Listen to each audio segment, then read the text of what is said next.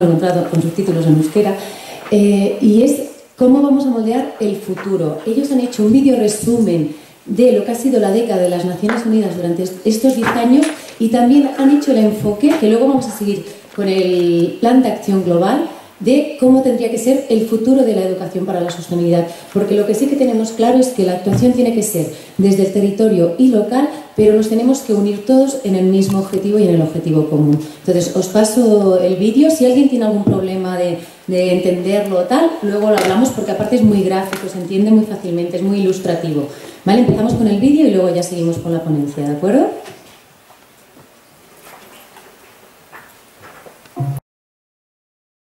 development into education systems.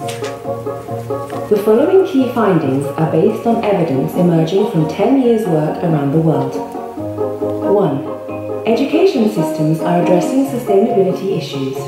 Across many countries, a strong trend can now be seen to make education more relevant to the social, environmental, and economic challenges that the world faces today and in the future. 2. Sustainable development agendas and education agendas are converging. Stakeholders for sustainable development are increasingly taking up education, public awareness, and training to advance sustainable development. 3. Political leadership has proven instrumental. Political leadership has helped to create the organizational climate necessary for change. As a result, Important advances have been made to put national ESD strategies or plans in place, contributing to the integration of ESD into national education and sustainable development policies. 4. Multi-stakeholder partnerships are particularly effective. The UN Decade has helped to reinforce the importance of partnerships and collaboration among stakeholders. Interactions among the growing networks of universities investing in ESD in Africa, Latin America, and elsewhere have led to international commitments and peer support for ESD.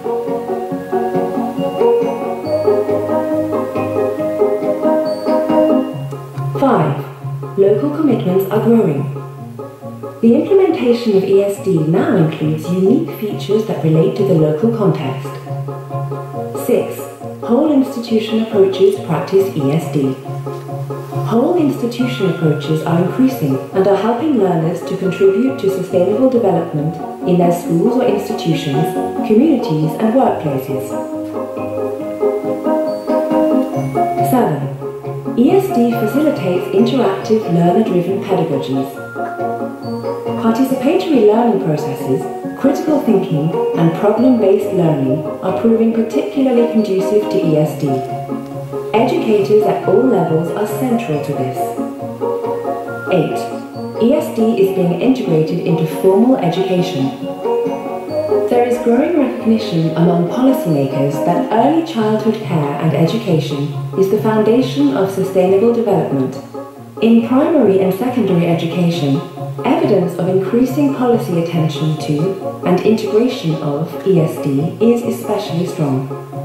The last 10 years have also seen higher education stepping up its efforts towards sustainable development. 9. Non-formal and informal ESD is increasing. In the daily lives of communities, families and individuals, awareness of environment and sustainable development issues is reported to have improved in many countries. 10. Technical and vocational education and training advances sustainable development. International Sustainable Development Policy and Planning and technical and Vocational Education and Training Policy and Planning are now aligning in the green economy and green skills agenda, leading to new research and capacity building efforts. Despite the successes of the decade of education for sustainable development, challenges remain in realizing the full potential of ESD. These include the need for further alignment of education and sustainable development sectors, the need to do more work for institutionalizing ESD, and finally, the need for more research, innovation, monitoring, and evaluation. The United Nations decade has left a deep mark. It has not only raised awareness, but catalyzed innovation across the board, from national education strategies to classroom practices, through to university curricula and community and business engagement. And this is what we must now build on. While there are challenges ahead, the solid foundation developed during the UN decade support an exciting range of global to local responses to help sustain momentum on ESD into the future.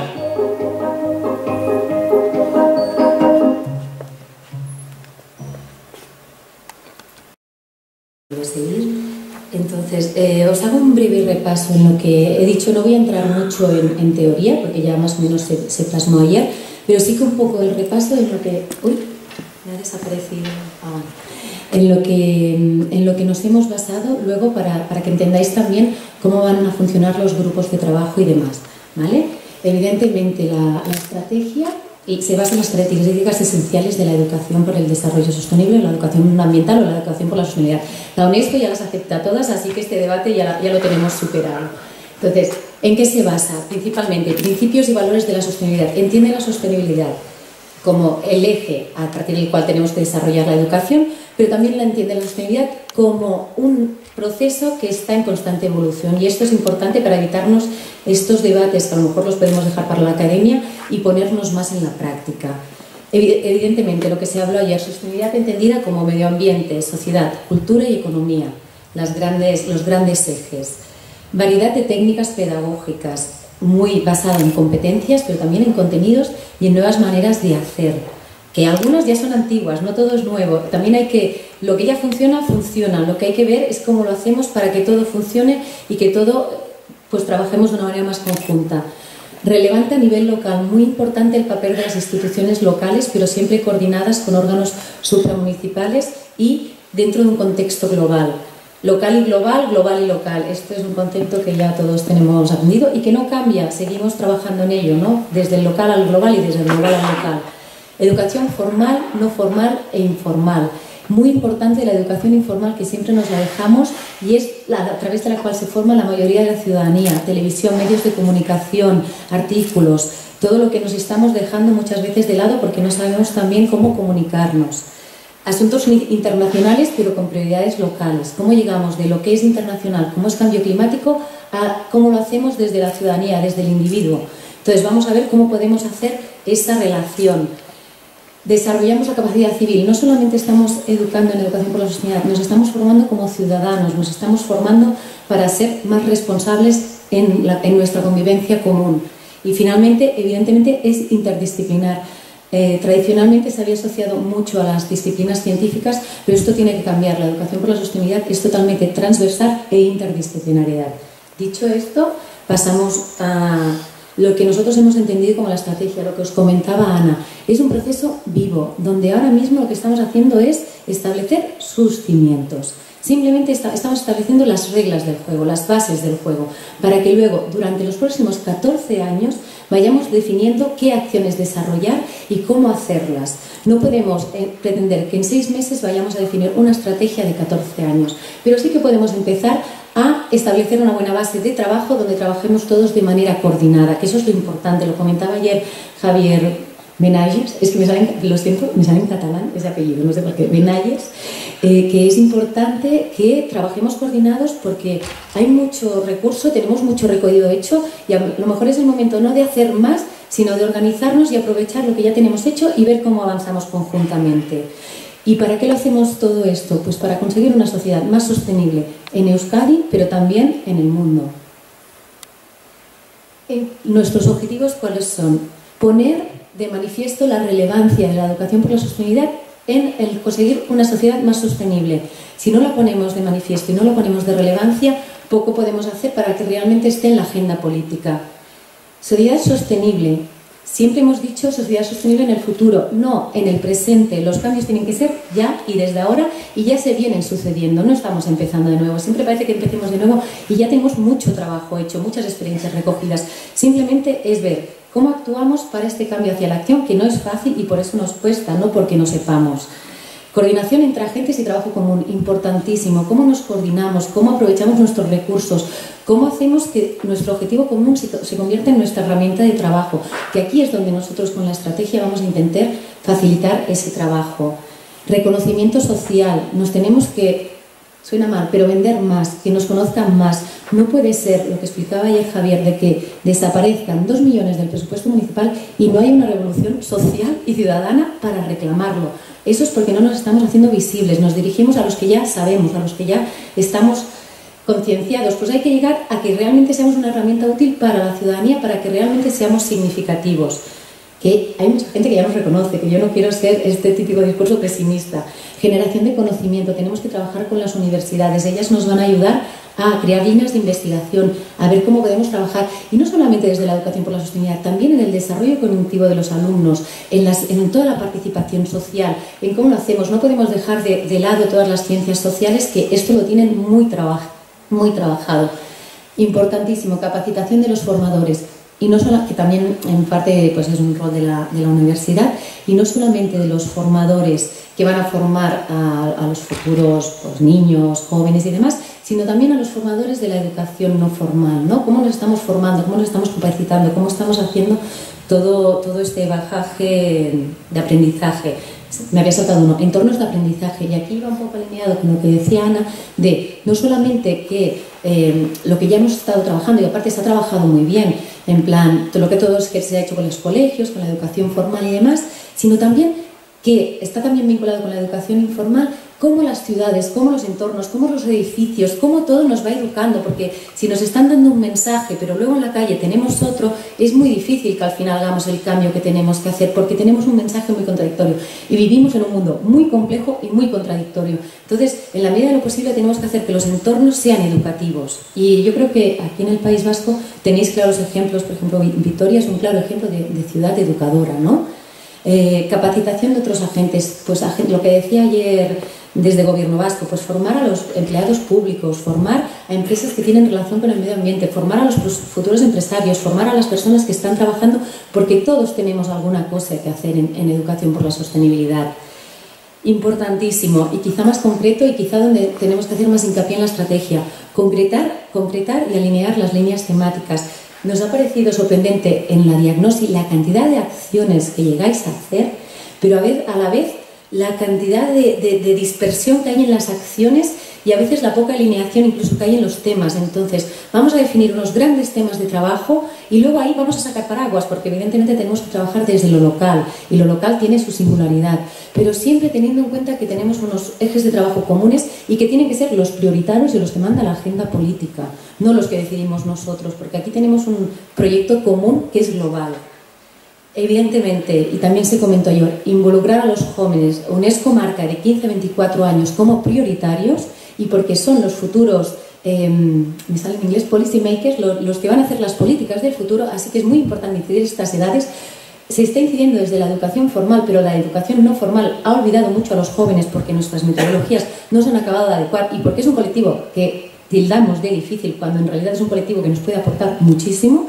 Y los más pequeños, se está comprobando que de los 0 a los 8 años nos formamos en capacidades, en hábitos, y es lo que tiene bueno, de hecho ayer Javier lo comentó, tiene, un impacto muy valuable en lo que vamos a hacer cuando seamos mayores. Entonces, importante, no empezar a los cuatro, empezar desde los cero. De hecho hay programas muy interesantes que se están llevando a cabo con estas edades, no olvidarnos de, desde el inicio. Y finalmente, y evidentemente, aprendizaje a lo largo de toda la vida, desde el formal, desde el no formal y desde el informal. Nos estamos formando continuamente, tenemos un cerebro que nos permite eso, pues vamos a aprovecharlo para irnos formando a lo largo de toda nuestra vida. ¿Vale? Dicho esto, cuatro, cuatro líneas de metodología, lo que hablábamos, gobernanza y transversalidad. Transversalidad, desde arriba tenemos que trabajar todos a uno y conjuntamente y la educación por la sostenibilidad por definición es transversal y lo que decía Ana, si tenemos a los agentes políticos de nuestro lado pues vamos a aprovecharlo y gobernanza, de arriba abajo y de abajo arriba y todos participando, ¿vale? Participación y co-creación, entendida esta como una participación real bien hecha, con buenos objetivos, con sus límites y con sus no límites y co-creando procesos participativos realmente estimulantes, donde la gente no sienta que a las 8 de la tarde se va a perder dos horas de su tiempo en hacer una participación, sino que va a enriquecerse tanto en lo que está creando como como persona. Y también ponemos co-creación en el sentido más de la creatividad. ¿Cómo hacemos las cosas? De otra manera o cómo las hacemos diferentes o cómo las hacemos para que nos lo pasemos bien haciéndolos. Por eso quería poner un poco de co-creación, de vamos a hacer las cosas divertidas, ¿no? Y finalmente, pues evidentemente, educación transformadora. contenidos necesarios, pero también pensamiento crítico, em, cómo hacemos em, decisión eh, colectiva desde el individuo y sobre todo prospección a futuro.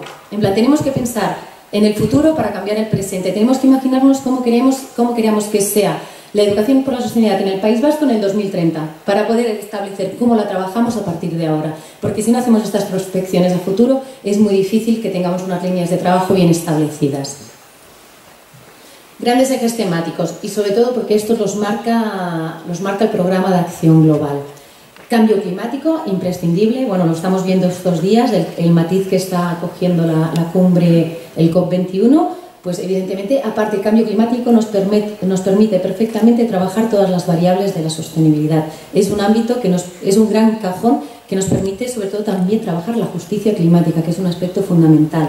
Consumo responsable, otro, otro, tema, otro gran eje donde podemos incluir una gran variedad de temas. Y finalmente, y tema muy importante aquí en, en Euskadi, biodiversidad y patrimonio natural y cultural, y que aparte lo tenéis muy trabajado y evidentemente criterios de inclusión social, igualdad de oportunidades y género. No podemos olvidar que tenemos estas disciplinas y que todo nuestro trabajo también tiene que nutrirse de estos criterios para, que realmente tenga, tenga un valor. Finalmente, ¿cómo, yo voy a ser breve. ¿cómo lo construimos? Escenarios de, de futuro, lo que decía, ¿cómo queremos que sea la educación en 2030? que es cómo la estrategia, cómo lo que vamos a construir entre todos, todo lo que estamos construyendo nos facilita este camino, qué es lo que necesitamos. Necesitamos coordinación, necesitamos acciones, ¿qué necesitamos? Para que realmente la estrategia nos sea una herramienta útil. No queremos una estrategia de cajón, queremos una estrategia viva, que vaya cambiando y que aparte nos resulte útil a nuestro día a día. Perdonad, se me ha olvidado antes un aspecto, voy a pasar un... En la, en la en la metodología un aspecto muy importante es la evaluación.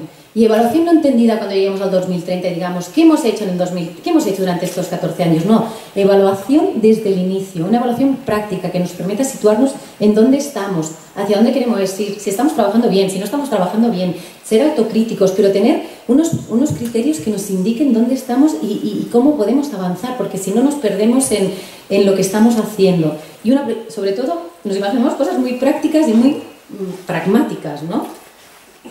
Voy para adelante otra vez. Eh, coordinación y gobernanza. ¿Quiénes tenemos que estar? Lo comentaba Ana. ¿Qué agentes tenemos que estar? ¿Cuál es nuestro papel? Porque no todos tenemos que estar de la misma manera, no todos tenemos que tener la misma implicación. Pues vamos a definir bien quién está y cómo nos coordinamos y cómo hacemos que todos participemos para que realmente sea de todos. Porque si no hacemos que esto sea de todos, esto no tira adelante. Planes de acción. Definiremos seguramente algunas líneas de acción porque de las sesiones de diagnóstico de lo que salga hoy, pues evidentemente hay cosas que ya estamos detectando y que vemos que es necesario darle incluso alguna prioridad. Pero también vamos a, establecer las líneas para que los planes de acción sean vivos y se puedan definir cada... Tenemos 14 años por delante, pues a lo mejor cada dos o tres años definimos otra vez los planes de acción. Vamos... ¿Cinco? ya acabo yo. Eh, vamos a definir cómo, cómo, vamos a hacer estos planes de acción vivos, aunque evidentemente vamos a definir algunas líneas de actuación. Visibilidad y comunicación, importantísimo.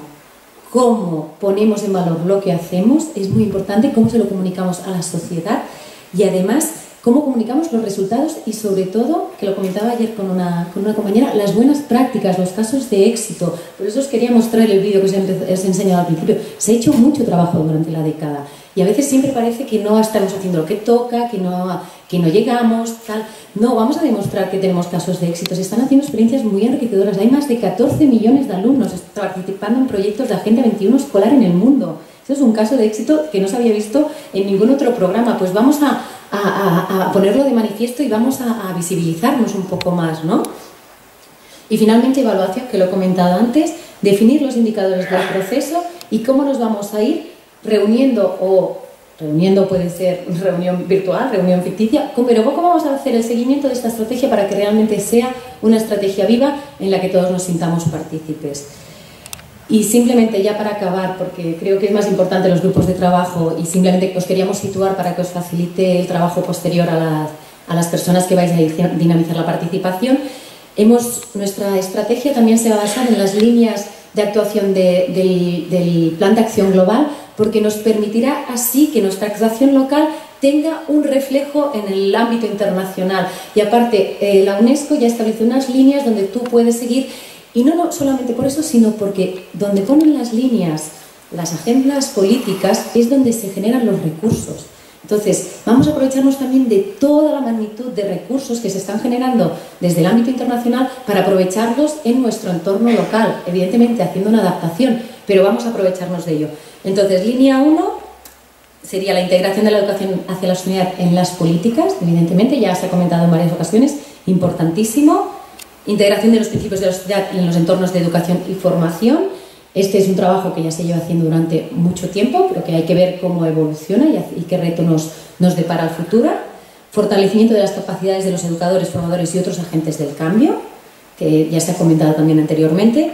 Capacitación y empoderamiento de la juventud, importantísimo. Y finalmente, colaboración con las comunidades e instituciones locales. Es muy importante lo que ya he dicho, el, tema del papel del municipio, porque es el más significativo para el ciudadano. ¿Vale? Y dicho esto, pues damos paso a, los dinamizadores de los grupos de participación que nos van a ayudar a participar en estas grandes líneas. Muchas gracias por vuestra atención.